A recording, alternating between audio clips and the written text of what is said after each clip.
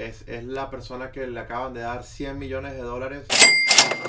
Eh, ahorita te quiero proponer una dinámica que tenemos de, se llama ping pong. Es una especie de ráfagas de preguntas en donde te damos dos opciones y vas respondiendo de manera rápida.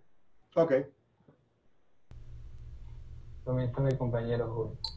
Sería entonces smartphone o computadora, Smartphone. Apple o Samsung, Apple. ¿Ah? internet o prefiero un día de campo. Internet. Ah, está bien. Podcast o videos streaming. Podcast. iTunes o Spotify. Spotify. Instagram o YouTube. Instagram. Trabajo o descanso, Trabajo. Mientras los demás duermen. lunes o sábado, Lunes. Europa o América, América.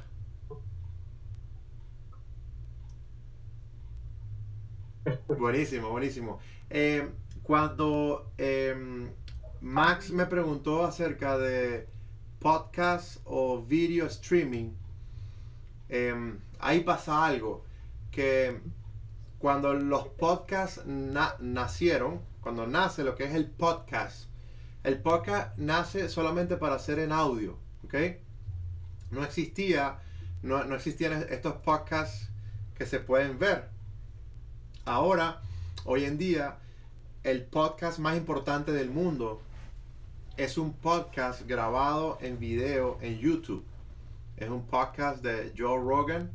Es, es la persona que le acaban de dar 100 millones de dólares. Spotify le dio 100 millones de dólares para que se fuera para el, el Spotify. Entonces, cuando yo digo podcast, me refiero a podcast grabado, eh, podcast en audio, podcast en, video, eh, podcast, incluso eh, los, los podcasts pueden estar escritos, pueden, pueden haber blogs de un podcast, de un podcast que se hizo y se pudo transcribir a eh, una guía donde puedes colocar en, en un blog todo lo que se conversó en el podcast. Así que eh, no me acuerdo cu- cuál es la- la- el- el nombre ideal para decirlo del podcast. Creo que es eh, eh, broadca- Web show. No, sí, creo que se llama broadcasting. Cuando haces un broadcasting es cuando estás tirando video.